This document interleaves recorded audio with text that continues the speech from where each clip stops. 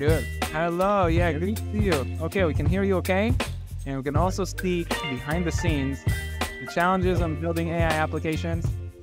Well, first off, thank you for inviting me to the to the talk, and I really appreciate the opportunity to be here. Uh, I'm Yuze, currently working as founding product manager at Lepton AI, where we help uh, user and clients ship their machine learning workloads much easier.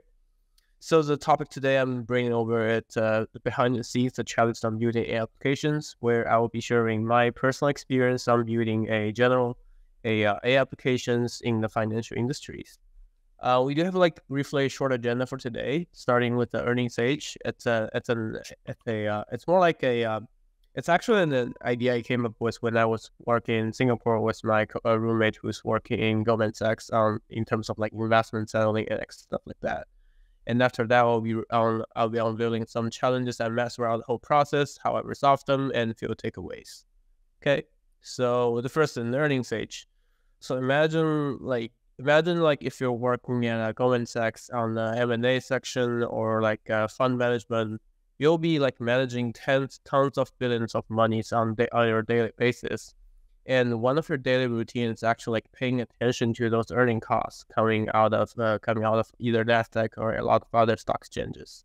So, um, one tricky question for people working in different time zones is like, for example, if you're like a uh, fund management, a, a portfolio manager for fund management working in Singapore and you're managing fund in US, you have to be like waking up in the mid in the middle of night, listening to the whole earning report and asking questions alongside with that one imagine how hard that could be if you're like working.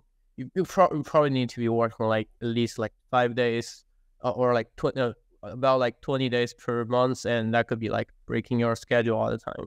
So imagine if there could be an assistant where it could be acting as a shadow CFO for the for for portfolio companies to answer questions as an investor, and that could be helping a lot a lot on both sides of the companies and the investors.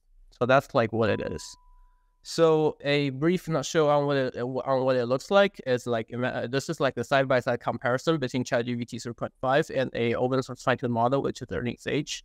So under the exact same instruction and content, the fine tuned model on the right side, which is more detailed and pays more like CFO. As you can see, it actually can it, it actually could be like catching the tones of like when a CFO talks about its own products. And in terms of like speed and performance, it's like 60% faster. In this case, um, feel free to try out this demo in earning stage.run. Uh, I think it's still up and running. So the how how do how do we do it? How do I do it? Uh, the the infra under is actually quite straightforward. It's it's quite traditional if you think about it. It's like because like nowadays everybody's talking about like how you could be querying documentations based on pre-existing files. So there would be indexing stage, retrieval stage, and generation stage, right? For the indexing stage, you basically um, input all the earning call transcripts, chunk them up into into doc into document chunks, put them into vector databases. For the retrieval stage, you'll be combining the instruction. Uh, the instruction would be like you are a financial assistant.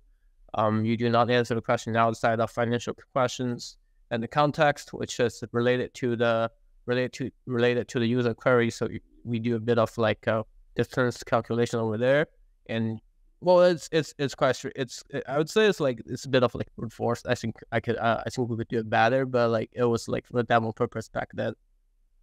So that co- that got like compressed into the whole prompt and sent over to the generation stage, which the text generation models known as LLMs will be giving the result based on the input. So that's a simplified infra in a nutshell.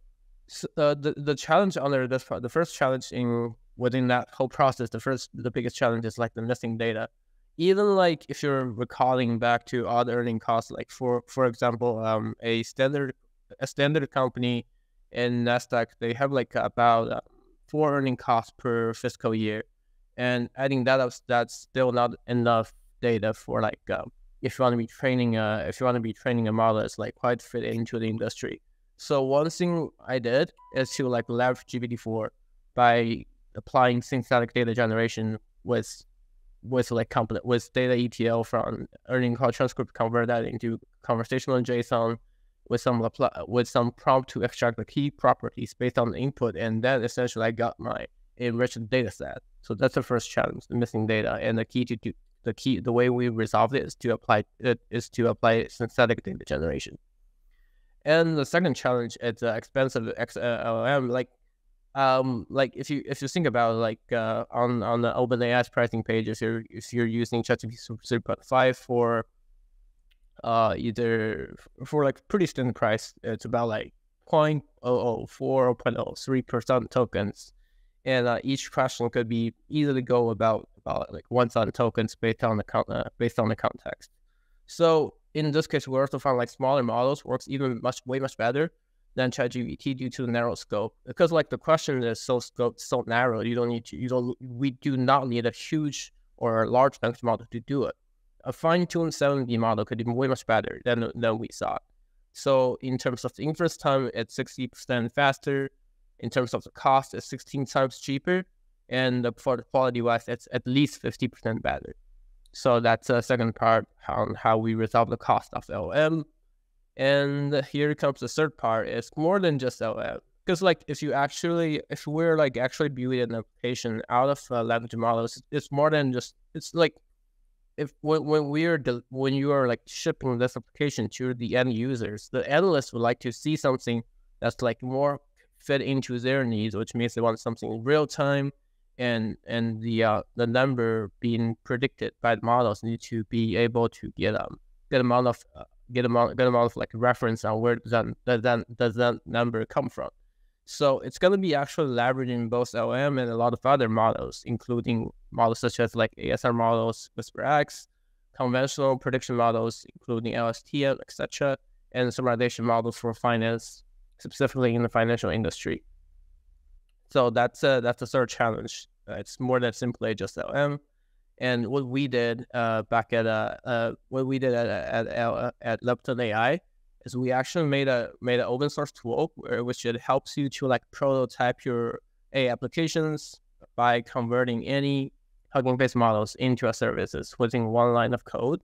Um, basically, you just do libfo run of the and passing through the the string of the Hugging Face model, and you can create a machine learning service out of it, and you will be able to consume it right away instead of instead of having a dedicated dev box to do it.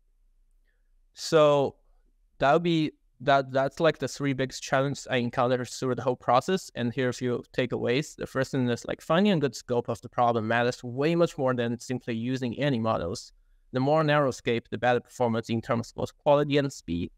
The second part is like work smart with OpenAI and ChatGPT, for example, leveraging leveraging the synthetic data generation techniques.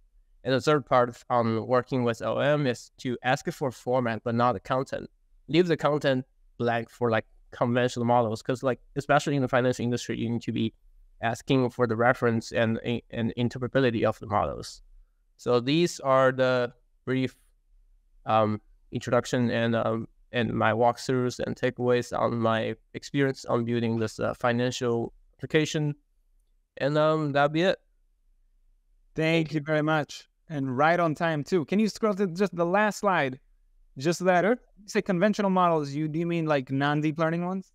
Kind of like yeah, exactly. So like yeah, exactly. In terms of like a financial industry, if you want to be predicting the pricing of the stocks, which is used all the time in the uh, in the high frequency trading, you'll be using more well well i guess it depends like you could be using RNN or reinforcement lear- based learning rather than transformative models. Or or for like fund management they'll be more likely to use like LSTM or linear models. Yeah yeah. Because they because they need the, they need to have the uh, interpretability of the model to explain to their investors to their lps like why we're putting money into into this company into this portfolio company or into this industry specifically yeah, yeah, and I imagine that like depending on the branch within finance, I think like in, in, in some of banking, it also gets quite highly regulated. So the integrity is like a, is mandatory there. Uh, thank you very much. Thank you for coming and for sharing your insights with us.